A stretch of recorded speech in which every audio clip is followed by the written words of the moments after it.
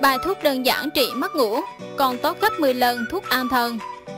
Bài thuốc này cực kỳ đơn giản, chỉ cần lấy một trái chuối đem nấu với nước, bạn sẽ có ngay một bài thuốc tự nhiên chữa bệnh khó ngủ lâu năm, hoàn toàn không có tác dụng phụ.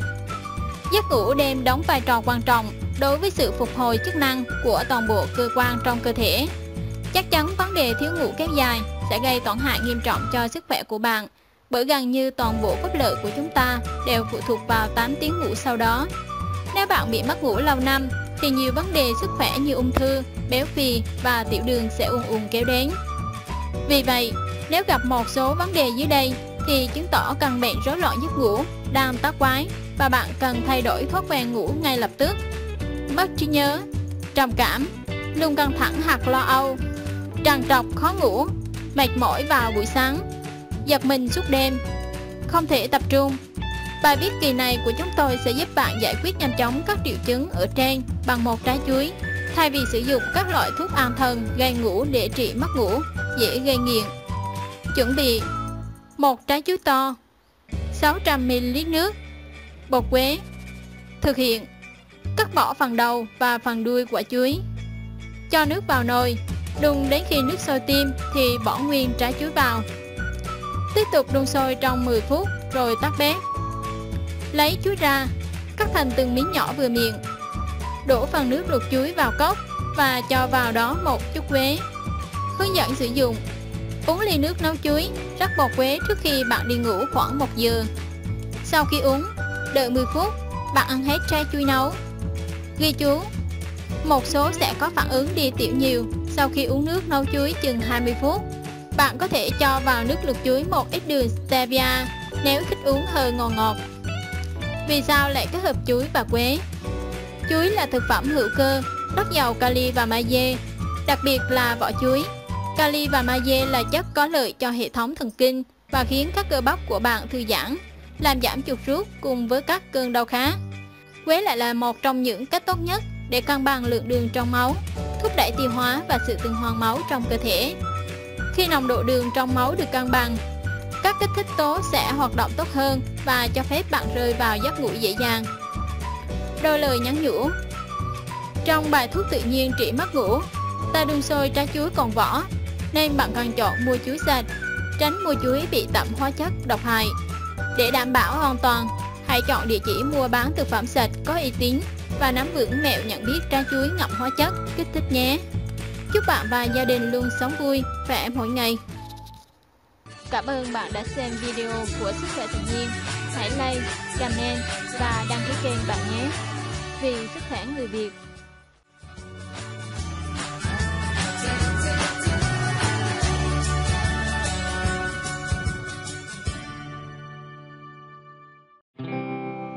Cô bán sầu riêng 12 năm, chỉ cách phân biệt sầu riêng hóa chất cực dưỡng, ai không biết thì tiếc cả đời.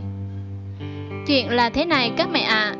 em là em thích ăn sầu riêng lắm, chỉ nghĩ tới vị thơm ngon béo ngậy của sầu riêng là em đã chịu không nổi rồi. Hồi trước, lúc còn ở nhà, cứ đến mùa sầu riêng là em lại được về vườn nhà ông ăn thỏa thích. Phải nói là sầu riêng miền Tây, quê em ngon hết ý à. Thế nhưng mấy năm nay, do em lên Sài Gòn học rồi đi làm. Cứ mỗi lần tới mùa sầu riêng là thèm chảy nước miếng luôn, mà chẳng dám mua ăn. Tại em thấy mấy bài báo đăng tin sầu riêng bị ngâm thuốc, nên em sợ quá à. Lần trước em cũng liều mạng, mua về một trái rồi ăn, và kết quả là bị tào tháo rượt cả đêm. Giờ cứ mỗi lần đi ngang mấy hàng sầu riêng là em cầm lòng không được nhưng mà nhớ lại cái vụ lần trước nên chừa. Cho đến mấy hôm trước đang đi làm về thì em chợt nghe mùi sầu riêng thoang thoảng đâu đó. Thì ra đường em đi làm về, hàng ngày là đi ngang một khu chợ trái cây nên bị dính mùi sầu riêng là phải rồi. Dừng xe lại quan sát xung quanh thì em mới thấy hàng sầu riêng của một cô bán gần đó. Thêm quá chịu không nổi, em đánh liều đến mua đài. Vừa bước xuống xe đến lựa là cô bán hàng đã cười niềm nở với em rồi. ấy vậy mà em cứ lựa hoài nhưng không dám mua, cứ sợ sợ sao đó à. Hết xem cuốn lại xem vỏ sầu riêng, xem thế nào. Thấy em lựa lâu quá nên cô bán hàng cũng xin nghi hay sao ấy. Chắc cô cũng hiểu được em đang lo lắng chuyện gì nên tươi cười bảo với em. Con sợ sầu riêng cô bán không đảm bảo chất lượng đúng không? Nếu vậy thì cứ để cô chỉ cho cách phân biệt sầu riêng ngâm thuốc với sầu riêng chín tại vườn nhé. Cô chỉ con để con biết, chứ đó giờ cô bán sầu riêng ở đây cũng được 12 năm rồi, cô không có làm mấy chuyện thất đức vậy đâu. Nghe cô nói, em ngượng ngùng vô cùng các mẹ ạ. À. Chị biết nhìn cô cười trừ luôn. Xong rồi cô chị em cách phân biệt sầu riêng chiến tự nhiên và sầu riêng ngâm hóa chất như thế này nè các mẹ. Cô nói, với sầu riêng chiến tự nhiên, ấn nhẹ vào cuốn sẽ cảm giác cuốn ướt, thậm chí vẫn còn nhựa chảy ra và tươi, gai mới, xanh cứng, còn sầu riêng ngâm hóa chất thì ngược lại. Cụ thể, cô bảo dấu hiệu để nhận biết sầu riêng bất thường là như thế nào ạ? À? Về gai và cuống, nếu là sầu riêng được ép chín bằng thuốc, thông thường người ta sẽ hái quả xanh trên cây rồi mang về giấm thuốc. Do để lâu hơn nên quả hay bị héo, thối hạt rụng gai, bị bầm dập và màu sạm đi. Trong khi đó, với sầu riêng chín tự nhiên, khi dùng ngón tay ấn nhẹ vào cuốn sẽ có cảm giác cuốn ướt, thậm chí vẫn còn nhựa chảy ra và tươi. Các gai trong cũng tươi mới, xanh cứng. Trên bề mặt vỏ, với những quả có khe nước, khi ấn tay vào sẽ thấy thịt quả cứng như đá và tay sẽ có màu vàng như vừa sờ vào thuốc nhộm thì là sầu riêng ngâm hóa chất. Sầu riêng chín tự nhiên có phần mềm thịt hơn. Về muối sầu riêng, với sầu riêng chín tự nhiên sẽ dễ dàng tách rời được các muối. Các muối màu vàng ống, béo ngậy và thịt sầu riêng rất dễ mềm. Ngược lại, sầu riêng chín ép bằng hóa chất rất khó để tách muối. Muối màu vàng nhược, ăn rất nhạt. Đồng thời thịt sầu riêng cũng bị sượng hơn. Về mùi vị, sầu riêng bị ngâm hóa chất, khi chín không có mùi thơm nồng đặc trưng, đôi khi không có mùi. Trái sầu riêng chín cay tự nhiên thì có mùi thơm nước mũi, đi từ xa vẫn có thể ngửi thấy được. Ngoài ra, với những quả có khe nước, khi ấn tay vào sẽ thấy thịt quả cứng như đá và tay sẽ có màu vàng như sờ vào thuốc nhộn thì không nên mua. Đó thường là những quả còn non hoặc bị sườn. Bên cạnh đó, để chọn sầu riêng ngon thì nên chọn quả có gai nửa to đều, cứng chắc và ít nhọn. Khi bóp hai gai gần nhau lại với nhau, quả non thì gai sẽ mềm, quả già thì gai cứng. Chị dẫn tận tình cho em cách phân biệt sầu riêng ngâm thuốc, rồi cô còn tốt bụng chỉ cho em sầu riêng ngon nữa. Tại cô bảo nhìn em còn trẻ quá, chắc là sinh viên nên chưa có kinh nghiệm mấy vụ này đâu. Cô bảo để chọn sầu riêng ngon phải chú ý những điều sau đây. Hình dáng Trái sầu riêng nào có hình dạng không đẹp mã thì thường ít hỏng và chất lượng cũng ngon hơn trái sầu riêng to tròn, nhìn bắt mắt. Điều này nhiều người không có kinh nghiệm thường mắc phải bởi thường thấy quả to và bắt mắt là lấy ngay. Cuốn Càng để lâu thì cuốn càng teo lại. Do đó, khi mua, bạn nên chọn những trái cuốn đừng quá héo vì trái đó chắc chắn là lâu rồi. Thông thường với loại trái cây để lâu ngày, người bán sẽ cắt bớt phần đầu đen của nó khiến người mua tưởng là mới hái. Gai Nửa to đều, ít nhọn, cứng chắc Bóc hai đầu gần nhau lại với nhau Nếu quả nào già thì gai cứng, quả non, gai sẽ mềm Nói xong một tràng cho em nghe Mặc cho em đang còn ngơ ngác tiếp nhận quá nhiều thông tin xa lạ thì cô đã nhanh tay cầm trái sầu riêng trước mặt em lên. Dùng một thanh dài gõ vào vỏ. Xong cô bảo, Đấy, còn có nghe thấy tiếng bệt bệt hay bột bột không? Em lắng tai nghe cô làm lại lần nữa, Thì đúng là nghe tiếng bịch bịch thiệt. Rồi cô bỏ trái sầu riêng xuống và bảo, Nghe thấy tiếng vậy thì chứng tỏ là sầu riêng ngon đó. Còn chừng nào con nghe chắc cứng như cong cong hay bong bong Thì con nên đổi trái khác, Vì trái đó không ngon đâu. Nghe cô nói xong Em lấy một trái gõ gõ thử rồi quan sát xem mấy dấu hiệu cô vừa chỉ ở trên. Cuối cùng quyết định mua một trái to luôn. Bữa đó mang về nhà Mở ra lấy ruột làm sinh tố uống ngon hết ý luôn à Thiệt, không nhờ cô bán hàng tốt bụng Chắc em nhịn thêm sầu riêng để chết luôn. Đấy, một số kinh nghiệm mà cô bán sầu riêng lâu năm nói cho em biết. Em thấy hay quá, giờ chia sẻ để các mẹ biết cách phân biệt sầu riêng chiến tự nhiên và sầu riêng ngâm thuốc ạ. à. Chúc các mẹ lựa chọn sầu riêng thành công nhé Cảm ơn bạn đã xem video của Sức khỏe tự nhiên Hãy like, comment và đăng ký kênh bạn nhé vì sức khỏe người Việt.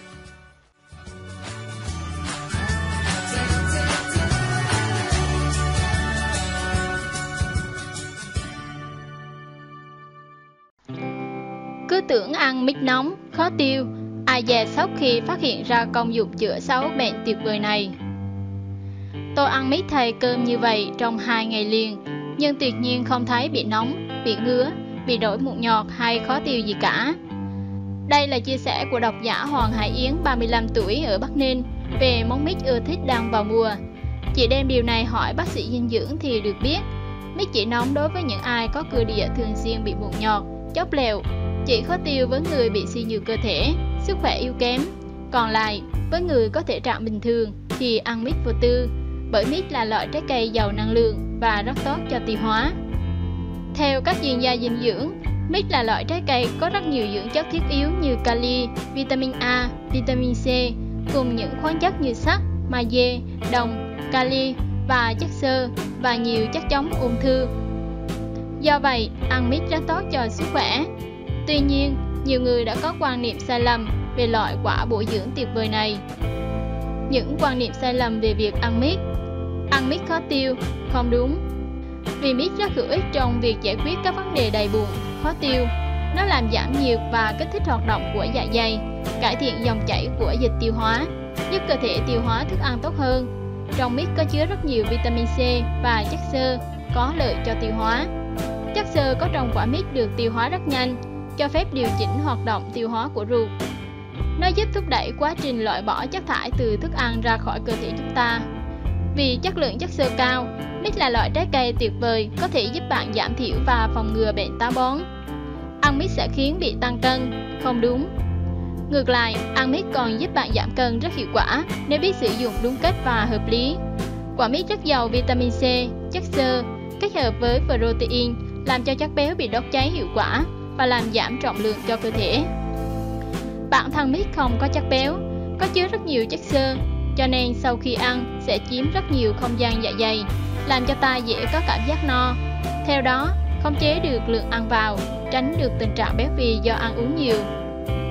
Mít sẽ làm bạn tăng cân chỉ khi bạn ăn quá nhiều. Nếu ăn với liều lượng hợp lý, mít hoàn toàn có thể giúp bạn giảm cân và tốt cho sức khỏe. Ăn mít nhiều gây nóng, sinh ra ngứa ngáy, chốc lửa, mụn nhọt không đúng. Theo chuyên gia dinh dưỡng, bất cứ loại quả chín nào cũng là nguồn cung cấp vitamin và muối khoáng quan trọng trong chế độ ăn của mỗi người. Vì ăn trực tiếp, không qua nấu nướng, nên quả chín giữ nguyên được hàm lượng vitamin và khoáng chất. Trong muối miết chứa nguồn vitamin C, vitamin A dồi dào, giúp cơ thể tăng sức đề kháng rất tốt, giúp cơ thể chống lại quá trình oxy hóa một cách mạnh mẽ.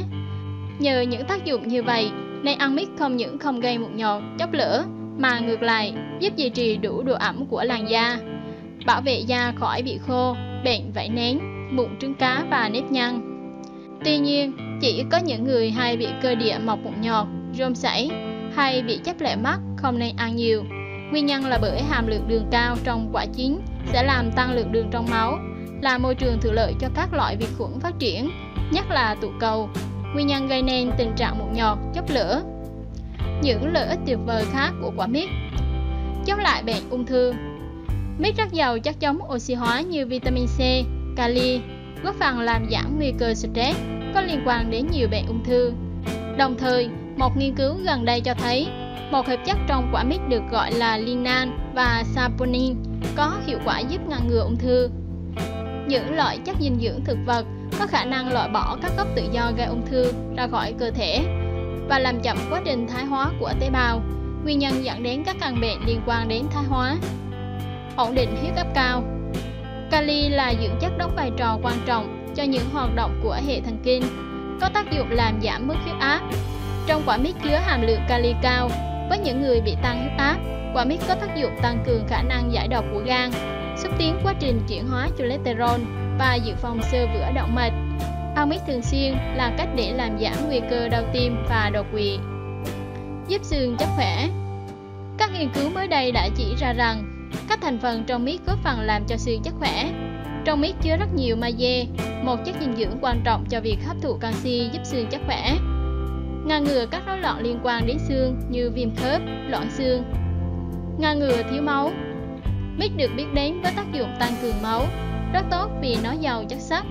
Ngoài ra, quả mít cũng chứa nhiều các dưỡng chất như kali, natri, vitamin C và vitamin A, nên nó có thể làm tăng sự hấp thu và nồng độ oxy trong máu, giảm nguy cơ thiếu máu hiệu quả. Bên cạnh đó, mít còn có tác dụng thúc đẩy hoạt động bình thường của các tế bào hồng cầu trong cơ thể, giảm thiểu nguy cơ mắc bệnh tim. Cũng giống như hầu hết các loại trái cây và rau củ khác, mít cũng là loại trái cây thân thiện đối với tim mạch vì lượng vitamin B6 cao trong mít có thể làm giảm homocysteine trong máu, yếu tố gây nên bệnh sơ cứng động mạch. Phòng ngừa chứng quán gà Mít chứa lượng vitamin A bằng lượng vitamin A của khoảng 1 phần tư ly cà rốt nên loại trái cây này có khả năng phòng ngừa các bệnh về mắt như chứng quán gà.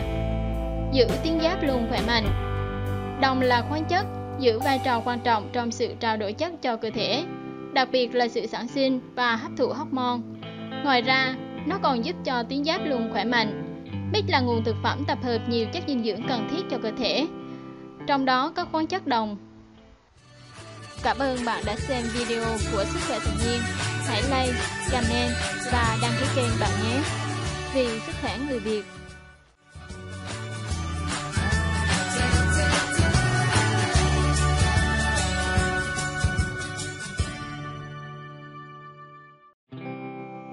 Năm năm bị đau xương khớp lâu ngày cũng sẽ khỏi nhờ nắm lá này. Mồng tơi là một món ăn dân dã, quen thuộc đối với nhiều người trong những ngày hè oi nóng. Ngoài công dụng giải nhiệt, nhuận tràng, thì loại rau này được ví như thần dược, giúp hỗ trợ điều trị bệnh đau nhức xương khớp lâu ngày, hiệu quả được nhiều người áp dụng và đã thành công. Hãy cùng tham khảo bài viết dưới đây để xem hướng dẫn cách chữa bệnh chuẩn nhất nhé. Công dụng chữa lành đau nhức xương khớp bằng rau mồng tơi Rau mồng tơi có tính hàn, vị chua, có tác dụng trị được nhiều bệnh lý khác nhau như táo bón, đái dắt, tiểu tiện không thông, cầm máu, yếu sinh lý. Nhưng dừng lại ở đó, mới đây các nhà khoa học đã nghiên cứu và kết luận rằng rau mồng tơi có công dụng hỗ trợ giảm đau nhức xương khớp cho bệnh nhân rất an toàn và hiệu quả. Theo Đông y, chứng đau nhức xương khớp thuộc phạm vi chứng tí. Nguyên nhân gây bệnh chủ yếu là do vệ khí của cơ thể không đủ, làm các tà khí phong hàn, thấp và nhiệt xâm nhập vào gân, cơ, xương khớp, kinh lạc dẫn đến sự vận hành của khí huyết tắt lại, gây sưng đau các khớp. Đối với người cao tuổi có càng thận hư hoặc bệnh tật lâu năm khí huyết giảm sút, xương khớp bị thái hóa, teo cơ, biến dạng và dính khớp. Có rất nhiều cách để chế biến món ăn ngon, bổ dưỡng từ rau mùng tơi.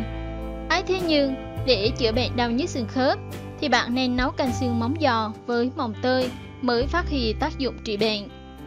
Hướng dẫn cách nấu canh giò mồng tơi trị đau nhức xương khớp.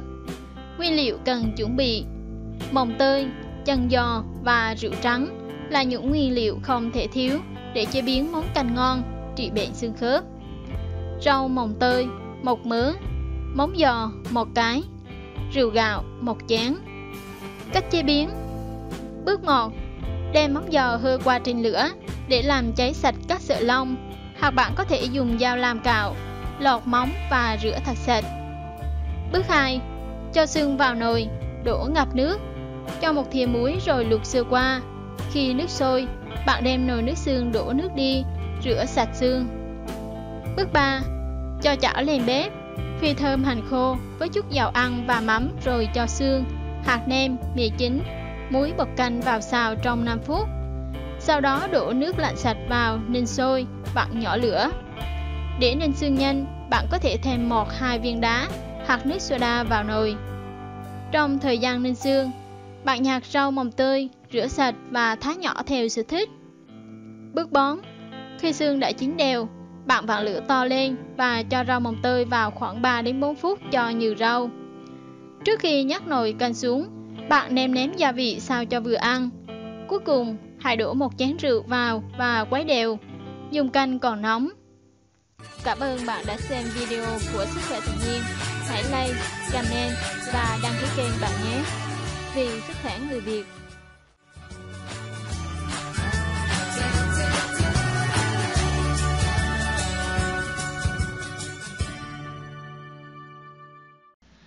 Đã có lời giải cho câu hỏi Ăn quả trứng cá có lợi hay có hại?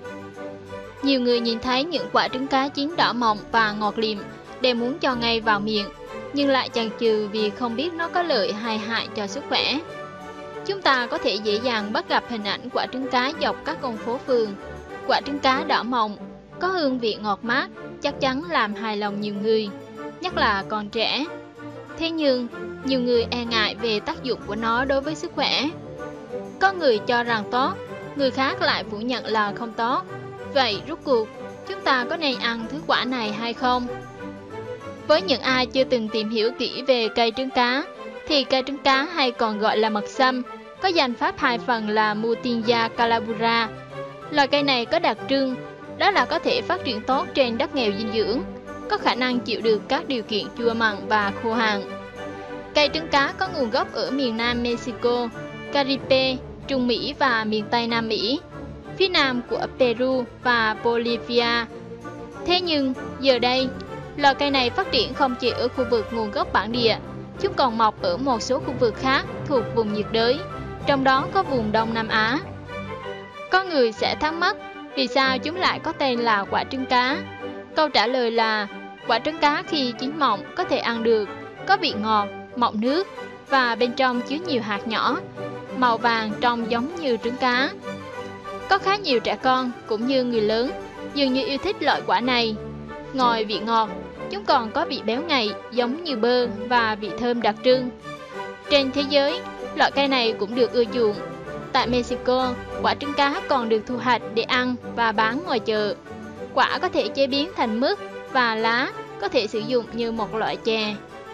Tại Brazil, người ta trồng nhiều cây này ven bờ sông. Quả rụng từ cây thu hút các loài cá để sau đó người ta đánh bắt chúng. Một chút thông tin trên đây phần nào cũng lý giải cho câu hỏi ăn quả trứng cá có lợi hay có hại. Thật vậy, giờ đây chúng ta không còn băn khoăn hay lo lắng thêm nữa, bởi vì trên thực tế, quả trứng cá mang tới khá nhiều lợi ích không ngờ cho sức khỏe. 1. Quả trứng cá giúp cơ thể khoáng vi khuẩn. Theo kiến thức y khoa, cơ thể của chúng ta vốn đã có sức đề kháng và cơ chế tự chống lại vi khuẩn và các yếu tố xâm nhập bên ngoài. Tuy vậy, đôi khi nó cũng cần sự trợ giúp từ nguồn dinh dưỡng hay thức ăn chúng ta nạp vào cơ thể. Chúng ta có thể bổ sung quả trứng cá, bởi vì đây là một trong những loại quả giúp cơ thể khoáng khuẩn. Một khám phá thú vị đó là hàm lượng khoáng khuẩn có trong loại quả này tương đương với một lượng nhỏ thuốc kháng sinh tiêu chuẩn. 2. Hỗ trợ quá trình nhận thức và phát triển của não bộ.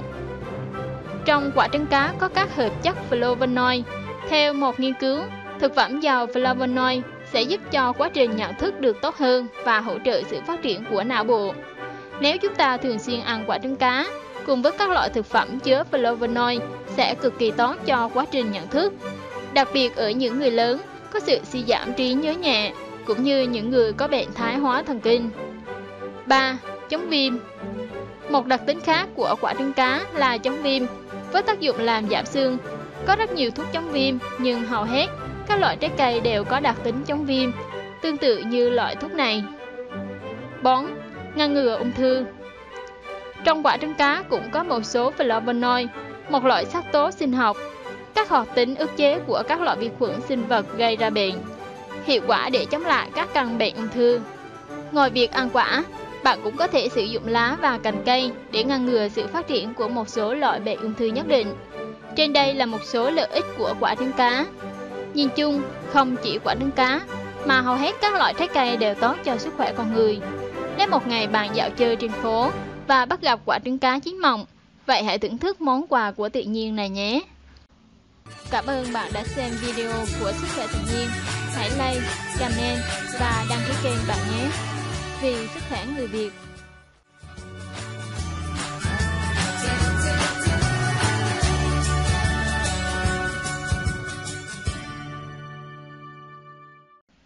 Nếu trước cửa hay trong vườn nhà có cây này, tốt nhất hãy chặt ngay cho lành. Đều là cây xanh, nhưng có những loại cây bạn tuyệt đối không nên trồng trong khuôn viên nhà mình, đặc biệt là một số loại cây dưới đây. 1. Cây dâu theo quan niệm dân gian, cây dâu, cành dâu được dùng để xua đuổi tà ma. Thế nhưng nó không được khuyến khích trồng trong vườn nhà, đặc biệt là trước cổng nhà. Nguyên nhân là bởi trong tiếng Hán, cây dâu đọc là tang, cùng âm với tang ma, tang tốc, có liên quan đến chết chóc bất hạnh, không mang lại may mắn. 2. Cây liễu Là loài cây dễ sống, nên liễu được chọn để trồng khá nhiều ở những nơi công cộng. Vừa mang lại màu xanh, vừa tạo cảnh đẹp hữu tình. Tuy nhiên, nó hoàn toàn không phù hợp cho việc đem về nhà trồng trong sân vườn. Theo yếu tố tâm linh, liễu trồng trong nhà sẽ mang đến buồn phiền, xui xẻo, hao tài tốn của cho gia chủ. Liễu thường gắn với những điển tích buồn thảm và không được may mắn, nên khi hiện diện trong vườn nhà, nó sẽ mang ý nghĩa không may mắn, tốt đẹp. Không chỉ vậy, quan niệm dân gian cho rằng cây liễu thuộc về phần âm, có thể dẫn dụ âm khí vào nhà. 3. Cây dương Dương cũng giống như liễu, đều được xếp vào nhóm những loại cây có thể dụ dẫn ma quỷ, tà khí vào nhà theo quan niệm dân gian. Chính vì thế, người ta không trồng cây này trong khuôn viên nhà ở. Bón, cây bách Thực ra, bách là loài cây mang ý nghĩa rất hay, đại diện cho sự trường thọ, vĩnh cửu. Tuy nhiên, từ xa xưa, mọi người lại chọn loại cây này để trồng cạnh một phần, nên nó bị dán cho cái tiếng không tốt lành. Cho đến bây giờ, bách vẫn không phải là loại cây được khuyến khích trồng trong nhà. 5. Cây đa Thường thì đa thường được trồng ở đền chùa, miếu mạo. Ngoài ra, loài cây này có gốc rễ đặc trưng, không giống với đại đa số những loại cây khác. Lúc trời lên, lúc lại ăn sâu vào lòng đất, nên sẽ khiến cho địa hình đất đai quanh chỗ nó sống bị ảnh hưởng. Nếu trồng ở gần các công trình xây dựng, nó sẽ khiến cho nền móng nhà bị mất cân bằng. 6. Cây xương rồng Với những cái gai nhọn hắt, xương rồng có lẽ chỉ thích hợp để trồng làm hàng rào. Nếu không vì mục đích này, các bạn nên cân nhắc đến việc trồng nó trong vườn. Nhiều người hẳn sẽ thích các chậu xương rồng được uống tạo đẹp mắt, nhưng trong phong thủy học, trồng xương rồng trong nhà sẽ gây mất cân bằng âm dương, gây tiêu tán tài lộc, ảnh hưởng đến sức khỏe gia chủ. Thông tin trong bài chỉ mang tính chất tham khảo. Cảm ơn bạn đã xem video của Sức khỏe tự nhiên. Hãy like, comment và đăng ký kênh bạn nhé. Vì sức khỏe người Việt.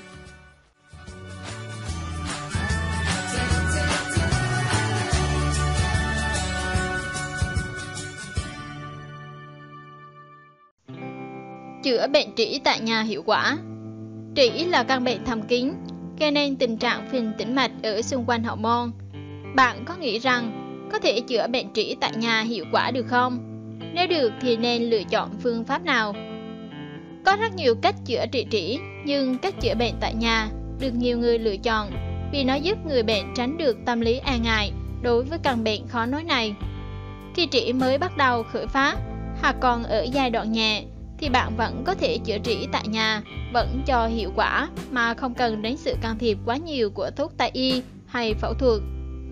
Chỉ bằng những hành động đơn giản là giữ gìn vệ sinh vùng hậu môn thoáng mát sạch sẽ, chườm đá lạnh vào hậu môn hay tránh mang vác vật nặng, bạn cũng có thể đẩy lùi đáng kể tình trạng bệnh của mình. Bên cạnh những hành động thiết thực trên, bạn cũng có thể áp dụng một vài bài thuốc chữa bệnh trĩ từ dân gian để làm cho búi trĩ như xông lá diếp cá hay đắp nước từ lá thiên lý non đều cho hiệu quả tốt lắm nhé. Chữa bệnh trĩ tại nhà hiệu quả 1. Những việc bạn nên làm để đẩy lùi bệnh trĩ và ngăn ngừa nó tái phát Vệ sinh sạch sẽ vùng hậu môn sau khi đại tiện xong Tốt nhất bạn không chỉ dùng giấy lau mà nên rửa sạch vùng hậu môn bằng nước ấm Không nên dùng xà phòng có chứa chất thơm hoặc thuốc nhộn để rửa hậu môn để làm sạch vùng hậu môn, bạn nên nhẹ nhàng rửa, chứ không được chà mạnh, gây kích ứng vùng hậu môn và các búi trĩ làm cho nó bị sưng lên. Biện pháp này giúp tránh làm cho bệnh trĩ nội và trĩ ngoại thêm tồi tệ hơn. Khi bệnh trĩ gây ngứa và đau đớn, bạn có thể áp dụng các phương pháp sau.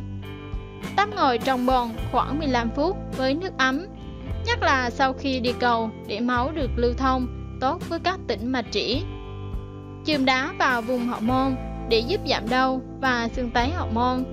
Mỗi lần thực hiện khoảng 10 phút. Bạn có thể thực hiện nhiều lần trong ngày và sau mỗi lần chườm đá thì nên đắp khăn ấm lên vùng hậu môn. Sử dụng thêm một số loại thuốc theo sự chỉ định của bác sĩ để làm giảm cơn đau và xương tấy của búi trĩ. Khi ngủ hoặc nghỉ ngơi tại giường, bạn nên nằm nghiêng hoặc nằm sấp và kèm một cái gối dưới hông giúp làm giảm áp lực cho các tĩnh mạch trĩ và giúp giảm sưng tấy. Nếu là thai phụ thì bạn nên nằm nghiêng để lưu thông máu tốt. Mặc quần thoáng mát, rộng rãi để tránh đáy quần cọ và vùng hậu môn và búi trĩ. Không mang vác vạt nặng hoặc ngồi lâu một chỗ sẽ làm tăng áp lực lên tĩnh mạch trĩ. Tránh ăn những thức ăn cay nóng như ớt, tỏi, tiêu. 2. Một số bài thuốc dân gian chữa bệnh trĩ Ngoài những việc làm trên, thì bạn có thể từ điều trị bệnh trĩ bằng một số bài thuốc dân gian dưới đây. Chữa bệnh bằng lá diếp cá Lá diếp cá có công dụng rất tốt với người mắc trĩ. Bạn có thể sử dụng lá diếp cá để xong hay đắp búi trĩ đều tốt.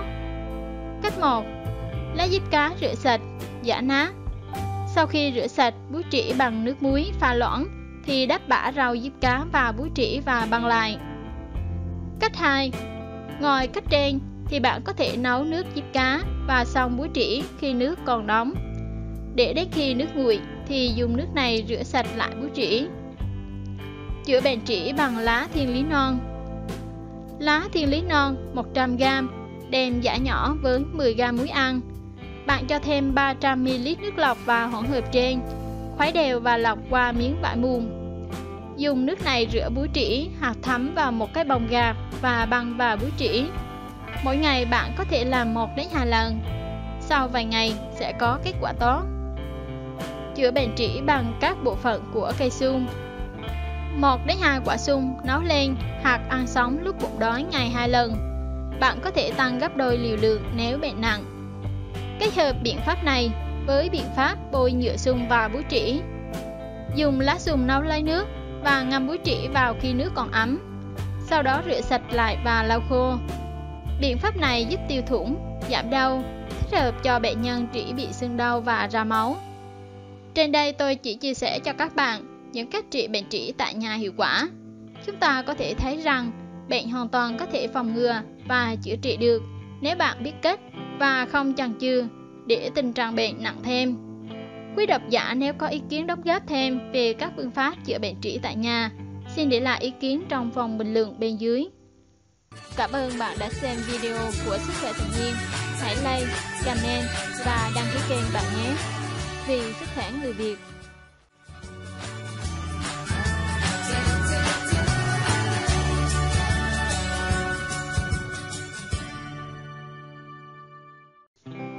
Ai bị gai cọt sống thì không nên bỏ qua bài thuốc cực đơn giản này. Sau khi dùng cho mẹ để khỏi bệnh gai đôi cột sống, chị Phương Loan đã chia sẻ bài thuốc này với bạn bè và mọi người trên Facebook. Chị đã tìm thấy nhiều đồng minh cùng mẹ chiến đấu với căn bệnh. Ai có mẹ già bị đau xương khớp, đặc biệt là bị gai còn sống, đều sẽ thấy xót xa vô cùng. Mỗi lần chứng kiến cảnh mẹ bị đau vùng cổ, thắt lưng, chị Phương Loan, quê gốc Đồng Nai, lại ứa nước mắt. Thương thay cho mẹ. Chỉ có điều, mẹ chị nhất mực không chịu đến bệnh viện. Bà cứ gàn con và bảo, mẹ sống chung với lũ cả 20 năm nay rồi, giờ đi khám làm gì cho phí tiền. Nhưng đấy là khi bà mới 70 tuổi, còn đi lại túc tắc được và thời tiết lúc đó ở miền Nam không quá khắc nghiệt. Sau đó, bà đã cùng cả gia đình chị Loan ra Hà Nội sinh sống, nên càng cảm nhận rõ rệt những cơn đau do căn bệnh này đem lại. Nhớ lại khoảng thời gian hải hùng ấy, chị Loan chưa hết rùng mình. Tôi thương mẹ tôi lắm, bệnh gai cuộc sống của bà khi ấy đã trở nặng đến mức suốt ngày đau tê ở cổ, rồi lan qua hai tay. Đau dọc sống lưng xuống hai chân. Tôi có massage đấm bốt hay cho bà uống thuốc giảm đau cũng không ăn thua. Đêm đến, bà không dám làm phiền con cháu nên cứ rì rì khóc. Khi thời tiết ổn định thì mẹ tôi túc tắc đi khắp nhà. Vui vẻ vì đỡ mệt, nhưng chỉ vài ngày sau, mức độ đau sẽ tăng lên gấp đôi. Khi tái khám, bác sĩ nói mẹ tôi đã bị rất nặng, dây thần kinh chằng ép quá nặng, không chừng chỉ một thời gian ngắn nữa sẽ gặp chứng ống tủy, thu hẹp rối loạn đại tiểu tiện và mắc cảm giác toàn thân. Đến mức ấy thì mẹ tôi sợ quá, bà hốt hoảng xin tôi đưa đi khám. Của đáng tội là vì thằng cháu đích tôn vừa cưới vợ, vợ cháu lại đang mang bầu sắp đẻ. Mẹ tôi háo hức được nhìn mặt chắc nên rất muốn chữa khỏi bệnh, để vào Nam bế chắc một lần. Tôi chạy đon chạy đáo khắp các bệnh viện Đông, Tây Y ở Hà Nội.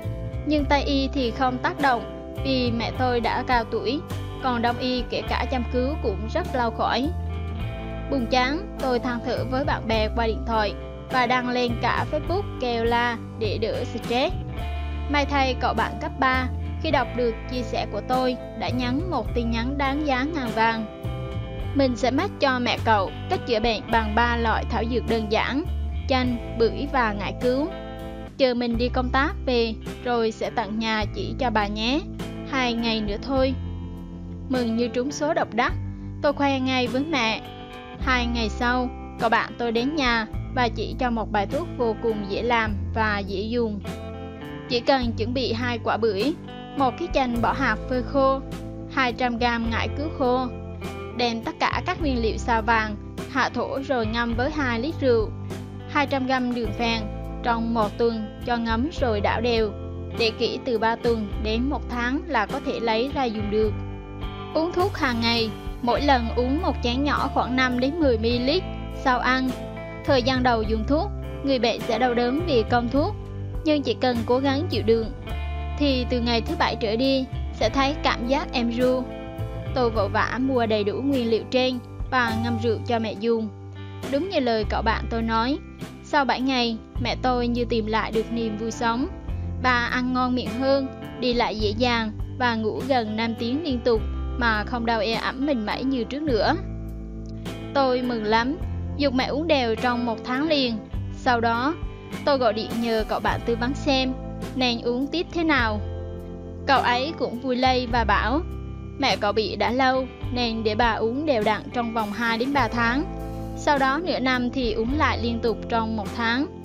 Cách năm sau, mỗi năm uống một lần liên tục trong một tháng là được. Mẹ tôi đã chữa khỏi gai cột sống đơn giản, chỉ bằng bài thuốc đó đấy. Tôi háo hức chia sẻ bài thuốc hữu dụng này cho bạn bè, họ hàng gần xa. Nhờ thế mà mẹ tôi đã có thêm nhiều đồng minh nữa trong cuộc chiến chống lại căn bệnh đáng ghét này. Và thật tuyệt vời, ngay sau liệu trình đầu tiên, mẹ tôi đã đủ sức khỏe để bay vào Nam, chăm chắc mới chào đời. Bà vui mừng lắm. Qua tìm hiểu, tôi được biết, trong dân gian có nhiều cách chữa gai cột sống, tận dụng những thảo dược dễ kiếm không có tác dụng phụ, nhưng thực tế áp dụng lại rất hiệu quả. Trong bài thuốc kết hợp từ các thành phần trên cũng rất có lý. Bự bưởi có những phytochemuca ngăn ngừa chất prostaglandin làm viêm khớp xương.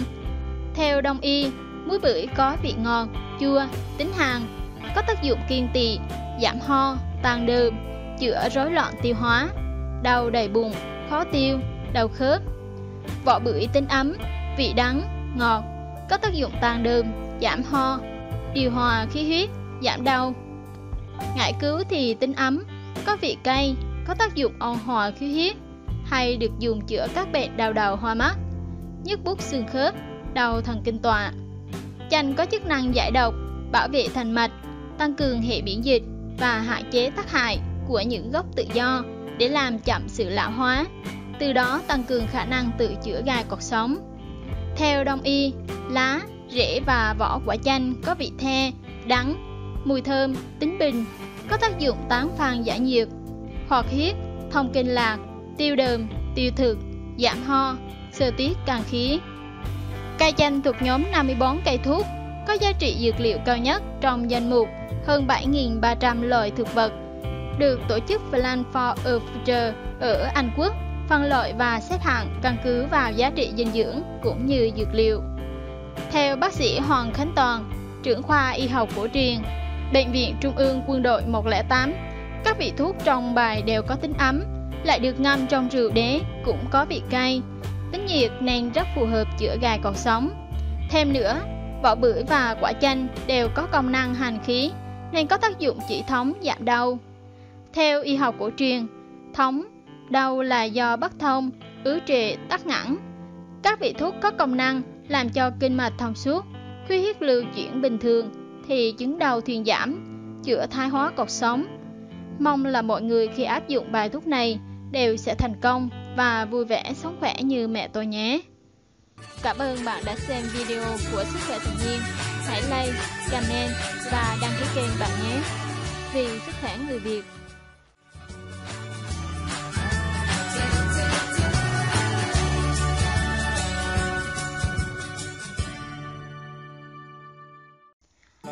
Hiện chất chống ung thư mạnh hơn thuốc 10.000 lần có trong gia vị ở Việt Nam.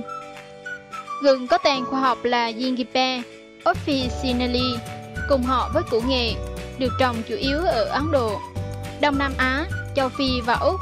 Hợp chất chính của gừng là gingiberine, có chứa ginerol. Theo các nhà khoa học, vị cay của gừng có liên quan đến các hợp chất capsaicin và piperin. Khi gừng được sấy khô, một hợp chất khác được tạo ra gọi là sigaol, có tác dụng chống oxy hóa mạnh.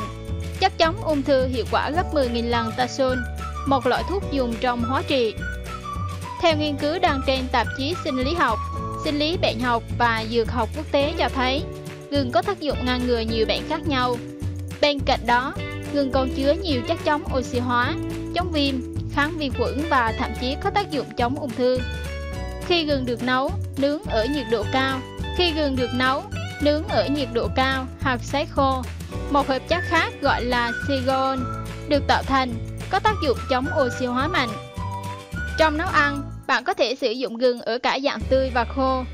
Tuy nhiên, dùng gừng như thế nào để phát huy tác dụng tốt nhất? Khi nào nên dùng gừng khô và cách dùng gừng tươi không bị mất đi tác dụng trong quá trình nấu ăn là những câu hỏi mà rất nhiều người thắc mắc. Dưới đây là câu trả lời của chuyên gia dinh dưỡng người Mỹ Jenny Hill về những vấn đề trên. Gừng nấu ở nhiệt độ cao có mất đi tính chất oxy hóa không? Như chúng ta đã biết, nhiệt độ của nấu ăn thay đổi các thành phần hóa học của hầu hết các thực phẩm. Ở dạng khô, không nấu chín, thành phần hoạt chất của gừng là 6 gingerol. Tuy nhiên, khi gừng được nấu chín, hấp, nướng, các thành phần của nó thay đổi và các hợp chất khác hình thành. Một nghiên cứu được công bố trên tạp chí quốc tế y học Ayurvedic và *Hepat* cho thấy trong trường hợp gừng đun sôi sẽ giảm các chất chống oxy hóa, trong khi rang lại không ảnh hưởng đáng kể. Tuy nhiên, một nghiên cứu khác về ảnh hưởng của nhiệt độ đối với các hợp chất có trong gừng cho thấy nếu thời gian nấu hoặc nướng gừng được giới hạn trong khoảng thời gian từ 2 đến 6 phút, mức độ chất chống oxy hóa tăng lên 6 lần. Tuy nhiên, mức chống oxy hóa trong gừng lại bị giảm xuống sau 8 phút. Gừng tươi tốt hơn hay gừng khô tốt hơn các nhà khoa học phát hiện ra rằng khi gừng tươi được sấy khô, các hợp chất mới được hình thành. Các hợp chất này không có trong gừng tươi. Thậm chí chúng còn mạnh hơn gingerol. Một trong số đó là hợp chất 6 sogo có trong gừng khô. Hợp chất này khiến gừng khô có mùi và vị nồng hơn gừng tươi. Nghiên cứu đăng trên tạp chí Phytochemistry cũng khẳng định rằng cả hai chất gingerol và sagon đều là chất chống oxy hóa mạnh nó có tác dụng chống viêm, chống ung thư và khoáng khuẩn. Tạp chí Khoa học dinh dưỡng và Khoa học thực phẩm phát hiện ra rằng nồng độ cao nhất 6 sargol được tạo ra khi gừng sấy khô ở nhiệt độ 80 độ C. Các nghiên cứu cũng chỉ ra rằng chất sargol có chứa mạnh hơn tất cả các hợp chất khác trong gừng.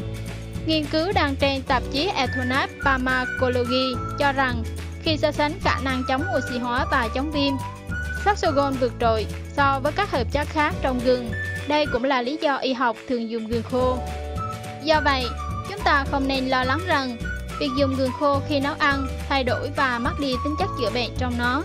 Ngược lại, các bằng chứng khoa học còn cho thấy việc sử dụng gừng khô tăng lợi ích đối với sức khỏe. Đặc tính chống ung thư của 6 sugon Nghiên cứu gần đây về chất 6 sugon chiết xuất từ gừng có tác dụng chống ung thư mạnh mẽ.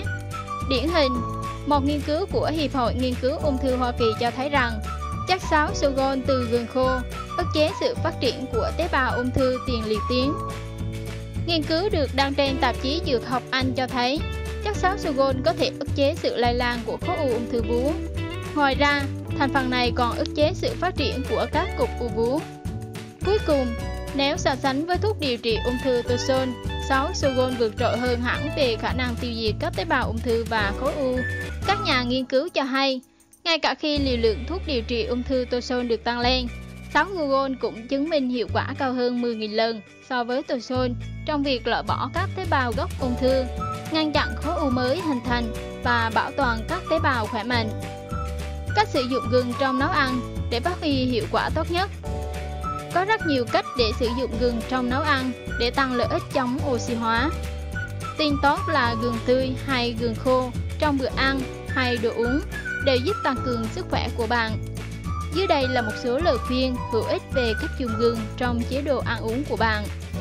Cho một miếng gừng tươi vào ấm nước đun sôi. Dùng nước này pha trà mỗi ngày giúp tăng cường hệ miễn dịch. Bạn có thể dùng 1 phần 2 muỗng cà phê bột gừng khô cho vào chén nước sôi, ngâm trong vài phút, thêm chanh và mật ong để thưởng thức. Cho một lát gừng tươi và các món như khoai tây chiên, súp và nước sốt, giúp tăng cường sức khỏe của bạn. Nêm gừng khi các món ăn gần chín để các hoạt chất trong gừng không bị mất đi. Một số lưu ý khi sử dụng gừng Mặc dù gừng là một loại thảo dược tuyệt vời với nhiều lợi ích sức khỏe, tuy nhiên, dưới đây là một số lưu ý khi sử dụng gừng theo Trung tâm Y học Đại học Maryland. Trẻ em dưới 2 tuổi không nên ăn gừng. Không ăn quá 4 gram gừng mỗi ngày. Phụ nữ mang thai có thể uống tới 1 gram gừng mỗi ngày. Gừng có thể gây ở nóng nhẹ, tiêu chảy và ở hơi. Nếu bạn đang dùng thuốc làm loãng máu, nên nói chuyện với bác sĩ về lượng gừng dùng hàng ngày. Nếu bạn đang có ý định phẫu thuật, tham khảo ý kiến bác sĩ nếu uống trà gừng mỗi ngày. Bài viết chỉ mang tính chất tham khảo. Cảm ơn bạn đã xem video của Sức khỏe tự nhiên. Hãy like, comment và đăng ký kênh bạn nhé. Vì sức khỏe người Việt.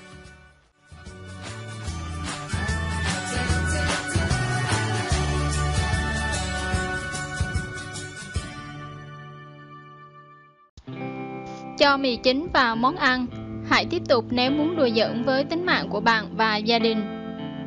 Khá nhiều dịch vụ ăn uống sử dụng mì chính đánh lừa miệng của khách hàng. Trong khi đó, tác hại từ việc sử dụng mì chính quá liều rất khó lường và tổn thương não bộ ghê gớm. Mì chính hay còn gọi là bột ngọt giúp thức ăn trở nên ngọt ngào, hấp dẫn hơn, nhưng bản thân nó không hề có giá trị dinh dưỡng, thậm chí còn gây hại nếu lạm dụng quá mức. Theo thạc sĩ Lưu Thủ Nghị, Đại học Nam Lâm, thành phố Hồ Chí Minh, mì chính là muối của axit glutamic, rất có tác dụng trong việc truyền tín hiệu của thần kinh. Dùng nhiều mì chính sẽ gây rối loạn hoạt động của não, mất trí nhớ, làm tiêu hao B6, dễ gây những cơn động kinh. Phó giáo sư tiến sĩ Nguyễn Di Thịnh, Viện Công nghệ Sinh học và Thực phẩm, Đại học Bách khoa Hà Nội cũng cho rằng Dùng quá nhiều mì chính sẽ gây rối loạn hoạt động não, dẫn đến suy thoái não. Chưa kể gan và thận do phải làm việc cật lực để phải hồi độc chất axit amin có trong mì chính, dẫn đến sự suy yếu và gây nhiều rối loạn. Ăn quá nhiều mì chính còn gây ra các triệu chứng như nóng ran sau gáy, choáng váng, nhức đầu, khô cổ, nhiều đờm, khó chịu. Các cơn hen có thể xuất hiện khoảng 12 giờ sau khi dùng mì chính nhiều người sau 30 phút sử dụng quá nhiều mì chính sẽ gây nên cơn trầm cảm với nhiều biểu hiện khác nhau như căng thẳng, hoa mắt, nhức đầu, buồn non, đau bụng, ủ rũ, những cơn bốc nóng sau gáy bất thường. Ngoài ra, những người có thể trạng nhạy cảm hay bị nhức đầu, đỏ mặt, đau gáy, nôn mửa, người mắc bệnh hen suyễn, cao huyết áp, thận, tim và trẻ em không nên sử dụng mì chính vì cơ thể sẽ có những diễn tiến xấu với những người mắc bệnh lý nói trên sẽ khiến bệnh nặng hơn, còn với trẻ em ăn mì chính sẽ làm thay đổi khẩu vị và gây nghiện mì chính khi không có gia vị này. Trẻ sẽ không ăn, vô tình gây độc cho não của các bé. Ngoài ra, với các món chua, món ngọt không nên cho mì chính sẽ làm mất độ chua, độ ngọt đúng vị của món ăn. Cũng không nên dùng mì chính với các món trứng vì trong trứng có nhiều bọt và khi kết hợp với muối natri clorua rồi đun nóng sẽ tạo ra thứ mì chính tinh khiết, giúp trứng có hương vị thơm ngon. Do đó, cho mì chính vào trứng sẽ gây nên tình trạng thừa mì chính và gây hại cho sức khỏe.